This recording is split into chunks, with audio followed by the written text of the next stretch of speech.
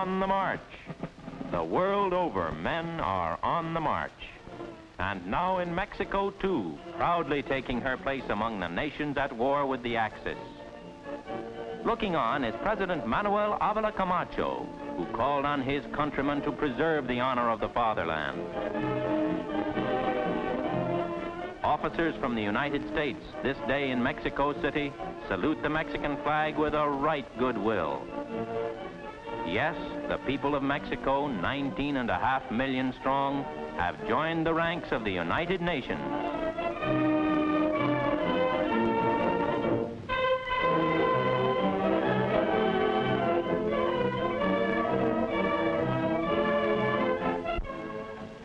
Fine roads, part of the great Pan-American system. Important as they are to commerce, to defense, the great thing is that these roads, well paved, well policed, are taking thousands of average United States folks into the heart of a neighboring country. Now that good roads run way down south of the border, we Americans are more numerous, more truly representative of the United States, and down the road a bit is this. It's the town of Taxco, where modern Mexico keeps the look of old-time Mexico.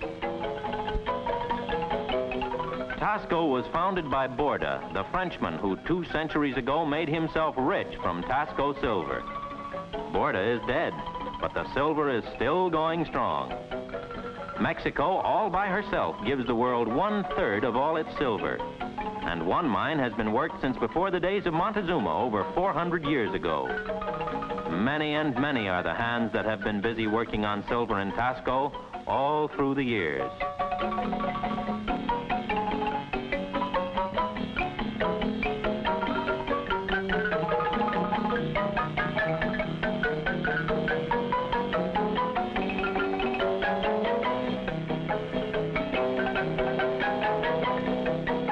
They say the stars are brighter in Taxco than in most places. Anyway, Taxco silver is bright and full of a sort of south-of-the-border glamour. Care for statistics? No? Well, here they are anyway. Mexico has 13 big commercial air bases beside this one at Mexico City. There are 23 air routes, three of them coming down from the United States. You can fly here in one day from Los Angeles. About 3 million miles are flown each year by about 70,000 passengers. Not all of them as attractive as Mapy Cortés from Puerto Rico, star of Mexican movies and highly popular singer. Where Mapy works her entertaining spell, Mexico City's swankiest hotel. Let's go in and listen to her. And now, Mapy Cortés. ¿Qué vas a cantar? Nada. No quiero que me miren.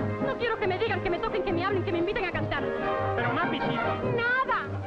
Yo no me llamo Mapi. Así es que ya lo saben que mi nombre ya no existe ni por tierra ni por mar. Pero óigame si es que... Nada. Yo estoy escarmentada. La vida de casada ya me choca, ya me cansa, no la puedo soportar. ¿Pero qué? Nada. Escuchen lo que digo. Mañana tempranito se lo diga a Fernandito que me quiero ya. Ay, cara, cara, carambambita. Ay, cara, cara, carambamba. Esta rumba ya me trae loquita. Esta rumba ya me trae cansa.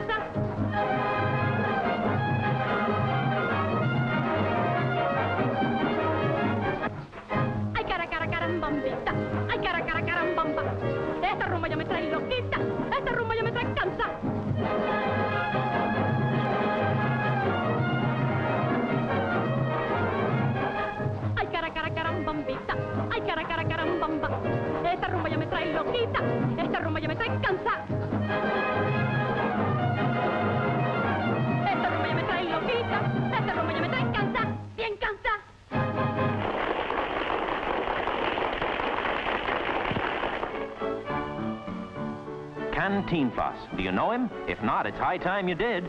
Let's hope he's in. Ahí está Cantinflas. Yes, there he is.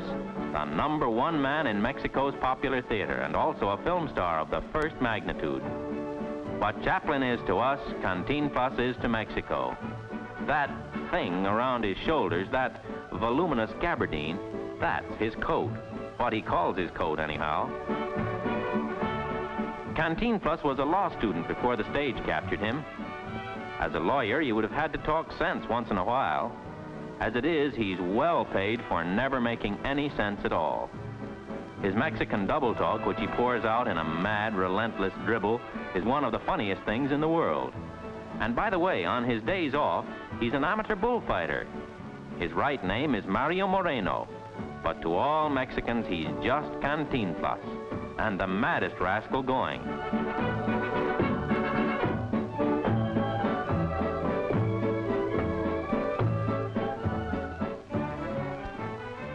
On another part of the studio lot, the trio Mixteco.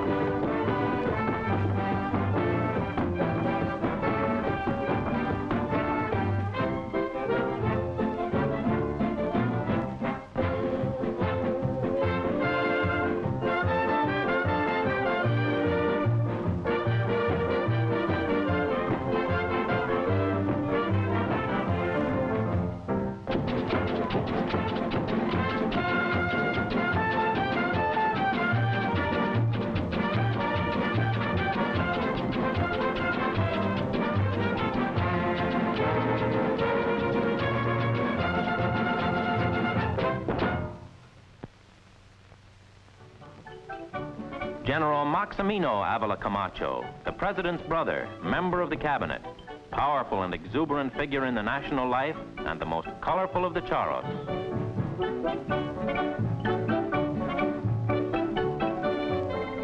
And who are the charros? Why, the Plaza de los Charros, which is the pride of many a Mexican city and town, the answer reaches back to the days of the Spanish conquest, when horses were cherished and horsemanship was a cult, and on to the later days of the great ranches, when the owner prided himself on being as good a horseman as any of his hands. And then on down to today, when the charros are splendidly mounted, magnificently costumed members of a society in which the horse is still cherished as the central fact in a richly romantic tradition. So their tests of riding skill and this sport with the bulls, which is called La Coleada, are more than mere stunts. They're a sort of ritual.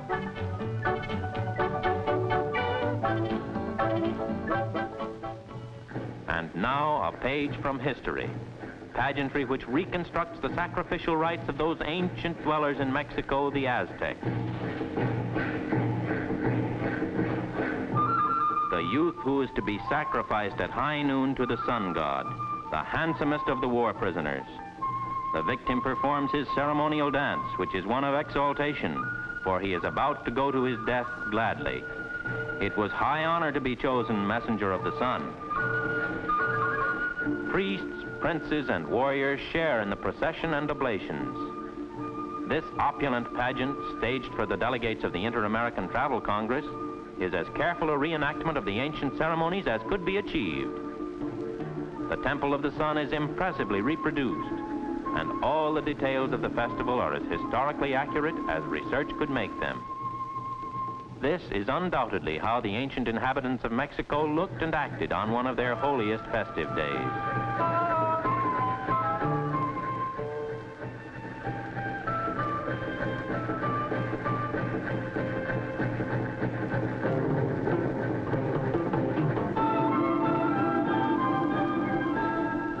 And now the messenger of the sun has had his moment of glory, has delivered the staff and shield which the sun god will need in his never-ending journey through the heavens, and has had the supreme honor of offering up his life.